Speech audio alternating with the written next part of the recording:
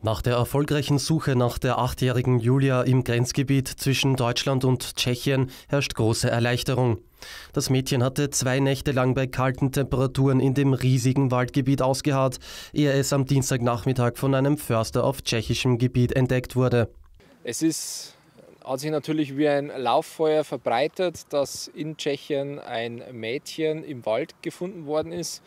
So wie es sich derzeit darstellt und wie es uns aus Tschechien übermittelt worden ist, handelt es sich um die gesuchte Julia, die zum Zeitpunkt des Auffindens ansprechbar gewesen sein soll und die stark äh, unterkühlt sein soll. Ähm, es ist natürlich dann die Rettungskette in Gang gesetzt worden. Man hat recht schnell Rettungskräfte rangebracht und jetzt sozusagen in diesen Minuten äh, laufen diese Rettungsmaßnahmen.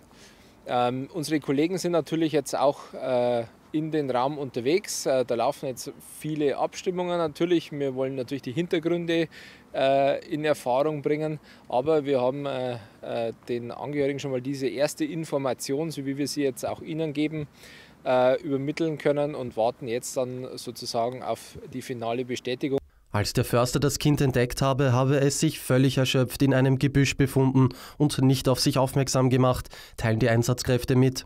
Nach ersten Vermutungen wird davon ausgegangen, dass die Achtjährige immer wieder in Bewegung war und dabei mehrere Kilometer zu Fuß im Wald zurückgelegt hat. Das Mädchen aus der deutschen Hauptstadt Berlin war am späten Sonntagnachmittag beim Wandern mit ihrer Familie im bayerisch-tschechischen Grenzgebiet verschwunden. Die Eltern hatten das Mädchen, ihren sechsjährigen Bruder und einen neunjährigen Cousin aus den Augen verloren und die Rettungskräfte gerufen.